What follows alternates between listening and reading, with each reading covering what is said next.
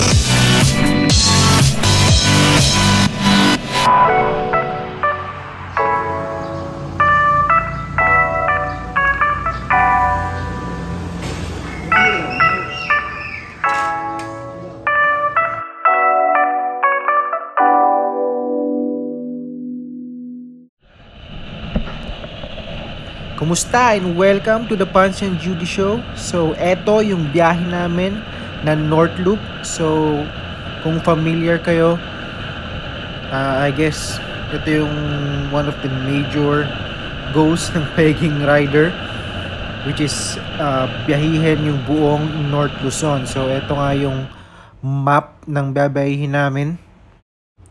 So at least 1,800 kilometers ang total ng binahe namin dito at nag-decide kami na hatiin yan in 4 days. So ang first day namin is sa uh, Tugigaraw, second day is sa Ilocos, and third day is yung sa La Union and then last day is going back to Manila na.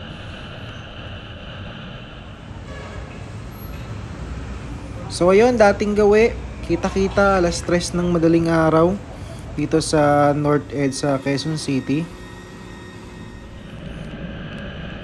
So ang first major stopover namin bago yung Tugigaraw mismo is uh, pupunta kami ng Dinadiawan Beach sa Aurora, malapit yun sa Baler.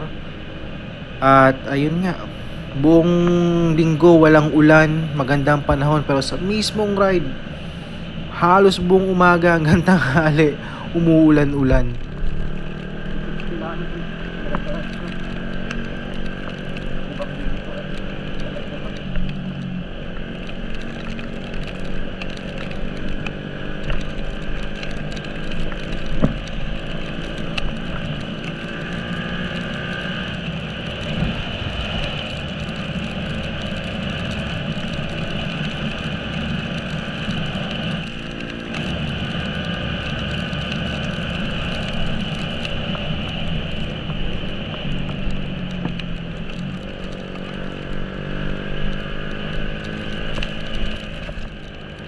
So papuntang Aurora, nag-decide kami na dumaan dito sa Pantabangan Road kasi mas safe naman dito kumpara dun sa uh, kabila. Yun nga lang, talagang sobrang maulan. Paangat to, papuntang bundok. So malamig talaga. At yan, kung makikita nyo, may, may fog yung konti. So talagang ramdam na namin lamig. Oh, maaga pa to, siguro mga alas 7 pa lang nito. So malayo-layo pa yung bebehin namin. At mukhang walang planong huminto yung ulan talaga.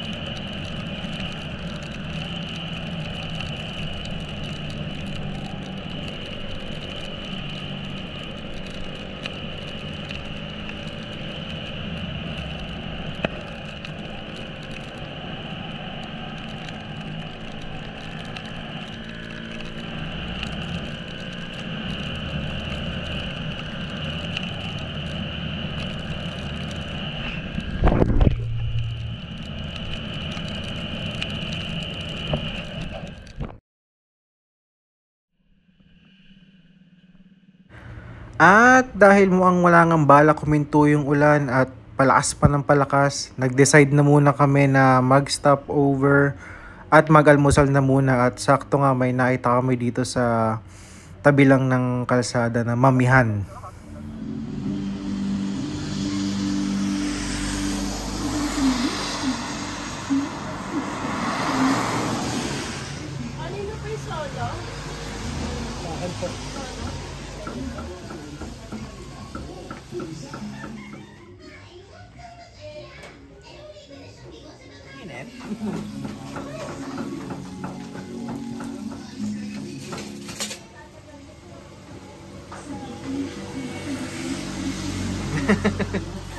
Lang ako.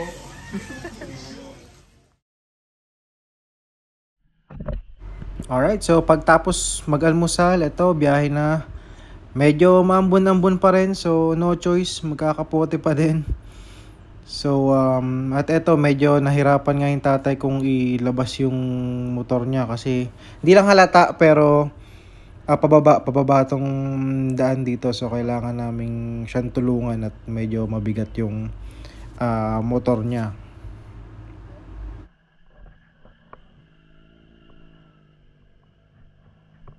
Ito namang mga motor namin eh, small cc lang naman so magaang lang, eh, madaling ikut-ikutin pag mga gantong medyo komplikado yung daan o yung pinagparkan.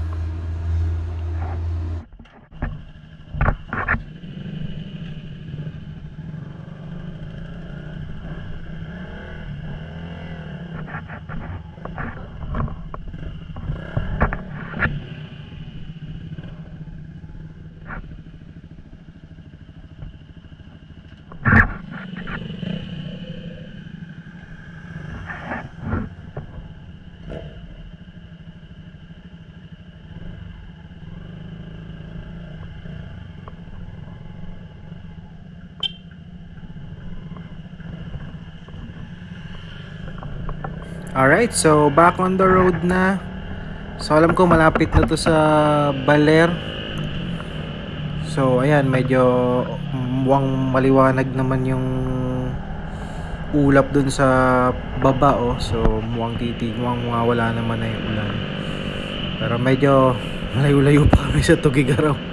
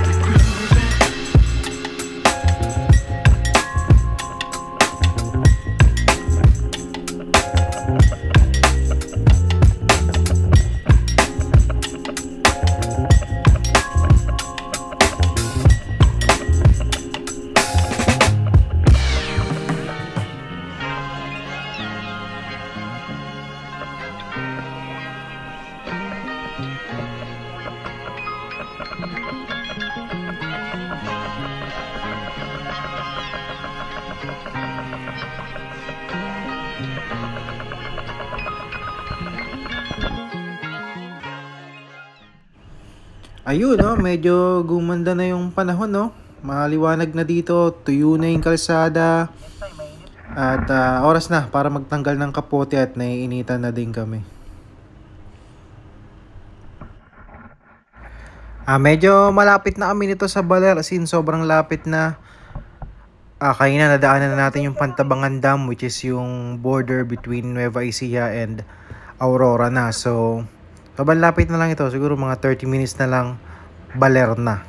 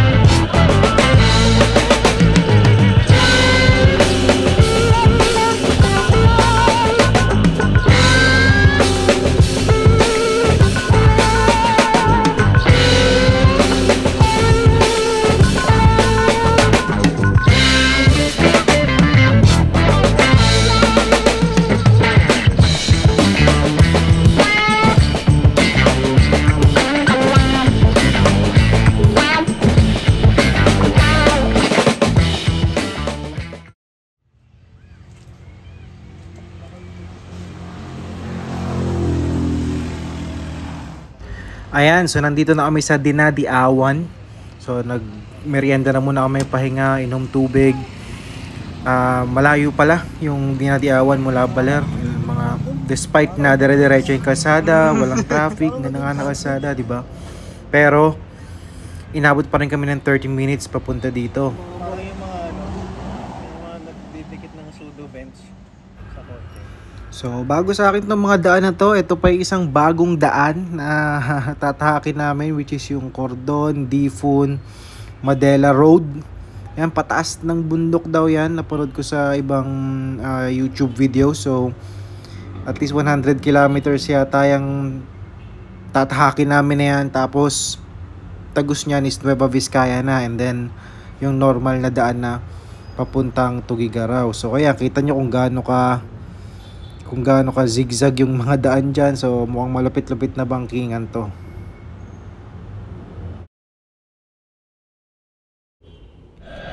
So, ayan, biyahe na ulit. Maganda ang kalsada. Ah, mapuno yung daan. Mukhang uulan na naman. Pero, ang kinaakaba ko dito eh, walang signal na yung cellphone. Maski GPS nga, hindi na rin gumagana eh. So, ah, medyo hindi kami matutulungan ng Google Maps dito. Pero sabi naman nung napagtanungan namin sa gas station eh basta magstay lang daw sa main road. na makakatagos naman daw kami ah, dito sa bundok. So ayun nga pataas nga to papunta nga to ng bundok. So tignan na lang natin kung anong magiging daan.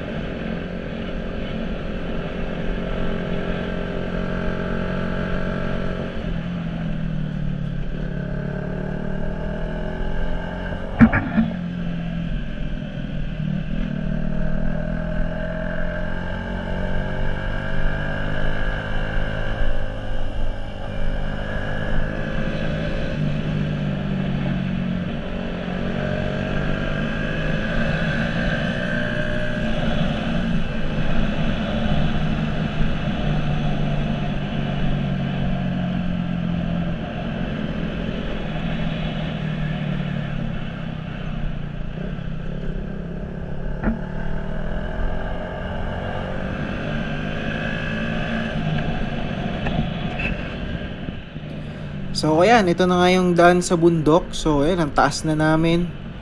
Okay, okay na okay yung daan. Lahat naman sementado so far. Wala namang sira-sirang kalsada. So dire-diretso lang yung biyahe. Nag-enjoy lang kami sa view. Medyo bagalan lang dahil nga parang umulan yata dito kanina kasi nga ayun no, basa yung kalsada. Tapos paliko-liko pa. Mukhang mas lalala pa yung likuan ito mamaya base dun sa map. Pero you know ganda oh. Puro puno bundok yung katabi mo. Walang ibang sasakyan halos kay lang. So talagang ah, nakaka-relax yung biyahe. Yun nga lang nakakainis talaga tong ulan eh. Mukhang mapapa kapote na naman kami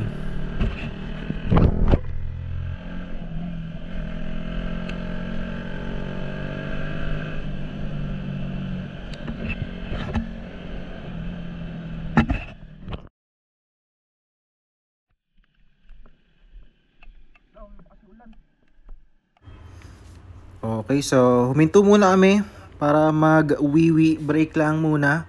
Ayan na nga, umaambon-ambon na pero mukhang tolerable naman, hindi ka naman mababasa. At mukhang dun nga sa pupunta namin eh, maliwanag naman so hindi na kami nag-kapote.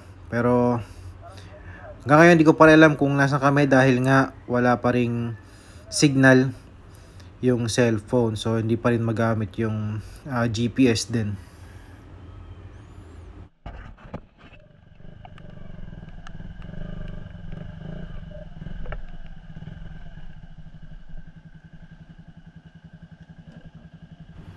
Ayan, so adjust adjust muna ng free play ng clutch at ah, parang feeling ko hindi smooth yung ah, pag-shift. So, mahirap na baka dahil dun masira pa yung motor. Mahirap masiraan dito. Walang makikitang pagawaan.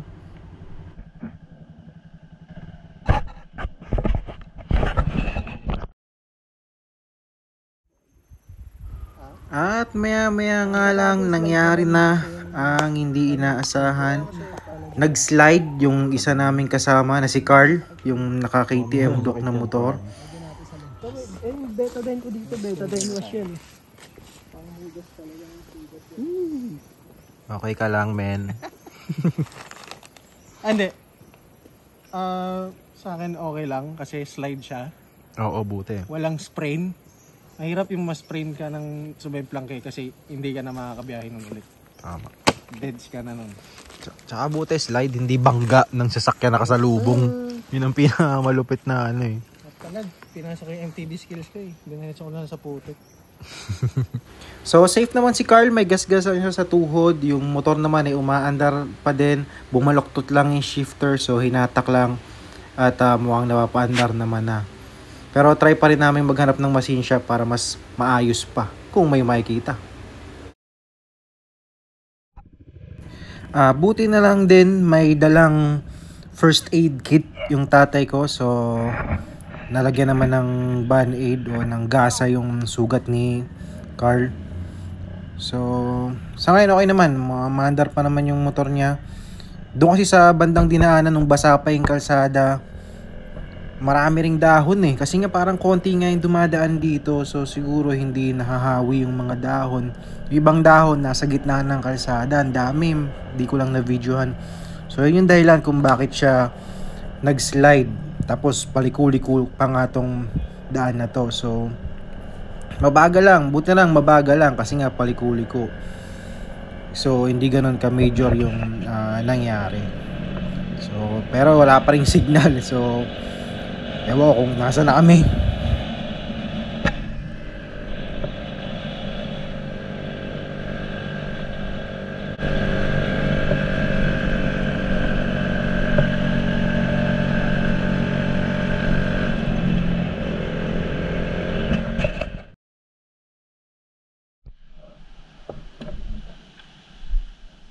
Ay, saan ba?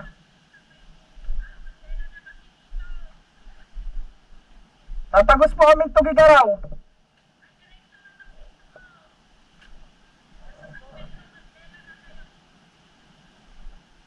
Konti lang po ba itong malubak? Ah, ganyan lang.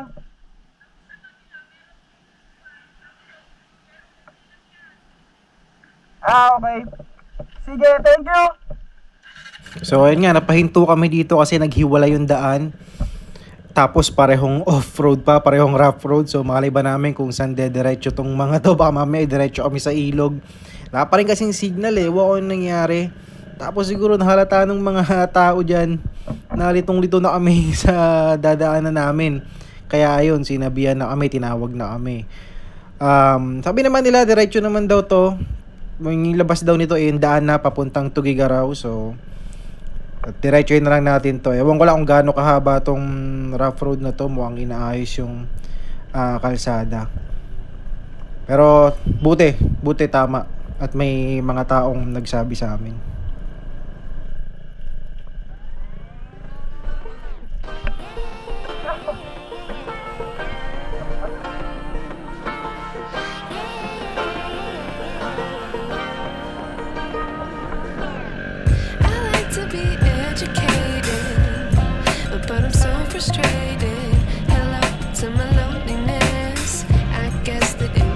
Texas.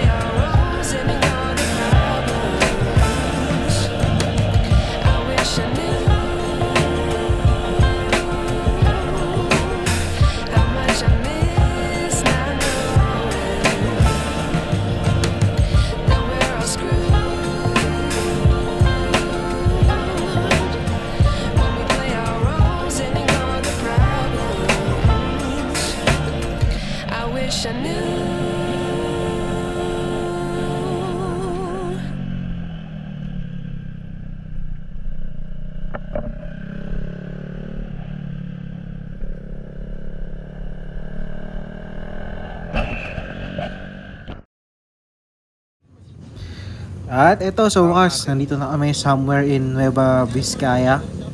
So, alas 12 na rin. So, kumain na muna kami. At ah, malayo-layo pa biyahe namin. Papuntang Tuigaraw, sabi ng Google Maps. Sa wakas, may ah, signal na.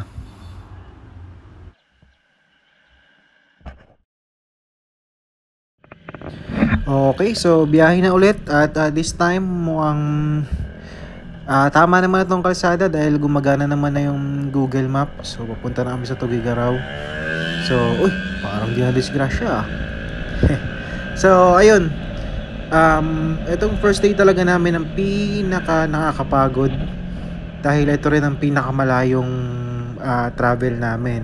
So, naisipan namin na each day, pakonti na pakonti yung ita-travel namin para hindi masyadong pagod. So, first day ang pinakamahaba, second day babawasan, third day mas malapit, tapos dire-diretso na ng Manila. So, um, eto, puntang Tugigaraw from Quezon City is almost 450 kilometers at sabi ni Google eh, is gonna be 10 to 12 hours na biyahe. Uh, dire-diretso yun. Syempre kami may mga stopover pa every 2 hours. So, uh, mukhang hahapunin o baka gabihin pa kami. So, um, talaga, talaga nakakapagod tong uh, biyahe na to. Pero on this parts na dito sa Nueva Ecija hanggang ay Nueva Vizcaya hanggang papunta Tuigaraw. Dire-diretso naman na yan, nakikita yung kalsada. Buti na lang maganda rin yung kalsada. Para ring naka-expressway. O asfaltado yung kalsada. At walang masyadong lubak-lubak. So, dire-diretso na lang to. Ang kalaban mo na lang dito is antok kasi kanina pa kaming alas 3 ng madaling araw uh, bumabiyahe. So, tapos ganito pa yung kalsada, walang kasasakyan, walang traffic, dire-diretso lang. Tapos init ng araw, nasa iyo lang, tanghali pa, siesta time, kakain lang namin. So, yun ang pinaka naging kalaban namin dito, yung antok, tsaka yung pagod. Pero kung stress sa biyahe, wala, walang stress sa biyahe pagdating sa mga parte na to. Dire-diretso ka na lang para ka na lang naka cruise control kasi isang piga ka lang halos di ka nga na mag-ship dito eh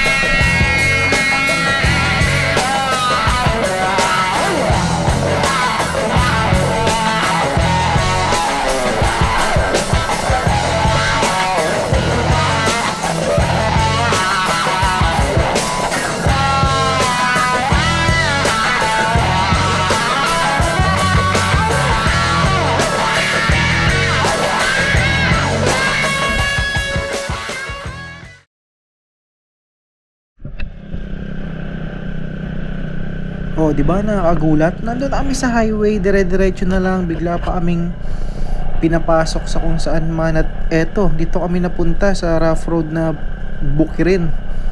Yun pala, nung tinignan ko, naka-avoid highway pala yung Google Map ko, kaya pala kung saan saan kami pinadadaan. So, pag magbabiyahe kayo, make sure na i-check nyo yun. Baka mamaya naka-avoid highway pala kayo. Dito, hindi ko na-realize na nakaganon pala kami. Pero tamang daan pa rin to. Yun nga lang talagang iiwas ka niya eh. Sa kung saan saan ka niya papapasukin eh. Eh, tulad nga nito, off-road, alam mo namang hindi tayo kagalingan sa mga off-road. Eh, kakadisgrasya ko pa to. Pero, in fairness, maganda yung lugar, oh.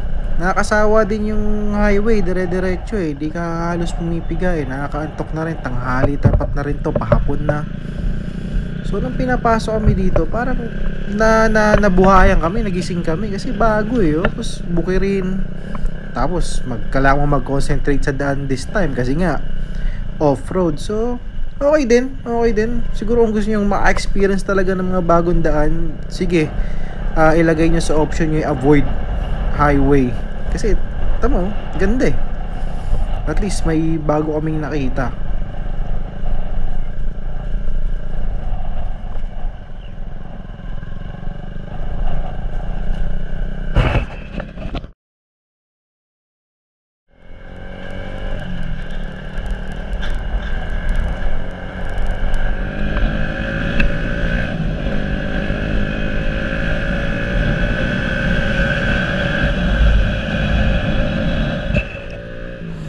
Okay, so balik na ulit sa highway. Kung nakita nyo kanina, nasa Isabela na pala kami, sa Etiage, Isabela. So, base sa Google Map, nasa 140 kilometers pa bago magtugigaraw. Hindi ko akalain ganun pa pala kalayo.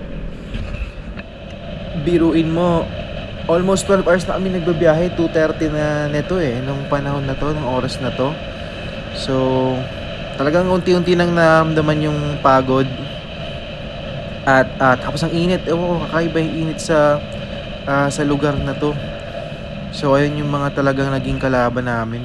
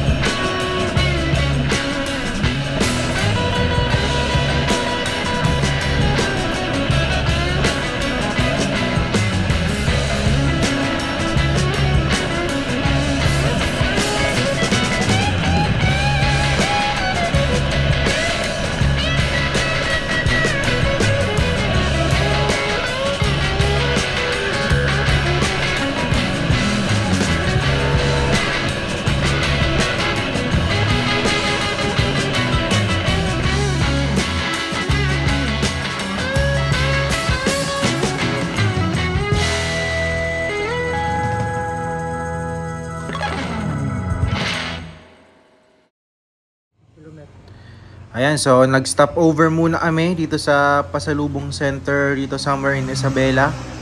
2 hours na din simula nung bumiyahe kami mula dun sa karinderya sa may Nueva Vizcaya. May 2 hours na nga eh. So, inom na lang muna ng tubig, ah, merienda, at ah, pagod na rin lahat.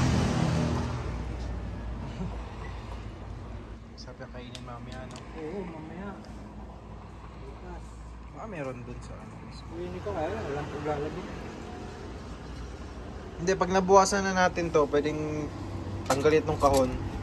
Tiklop. Tapos kung kaninong... Ay, kasya dito sa ano ko pala. Backpack ko. Ano naman yan eh. Baka ito yung pakwan dyan.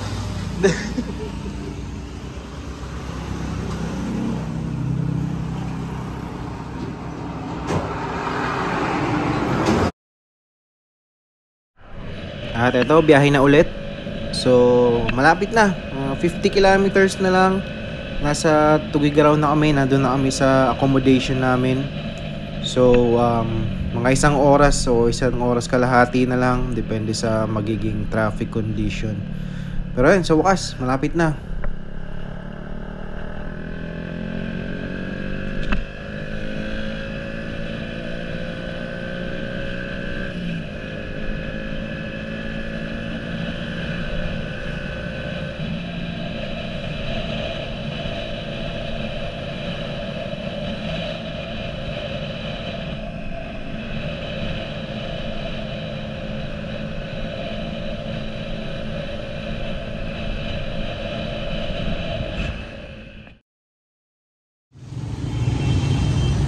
Okay, so nandito na kami sa accommodation namin dito sa Mango Suite, dito sa May Tuigaraw. So, nakakuha kami ng room na good for 6 person for 2,500.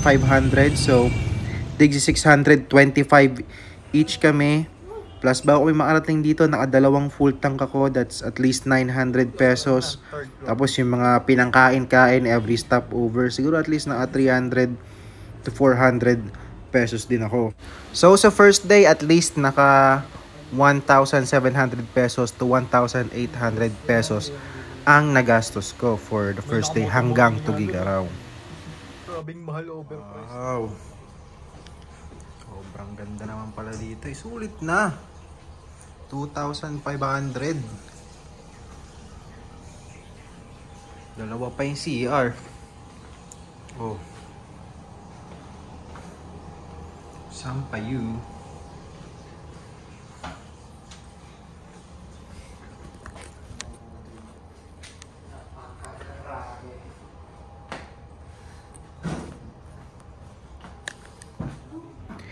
That's it sa first day namin sa aming North Loop papuntang Tuigaraw. Next episode will be biyahe papuntang Curimao, Ilocos. So, again, ride safe and travel safe. See you on the next episode.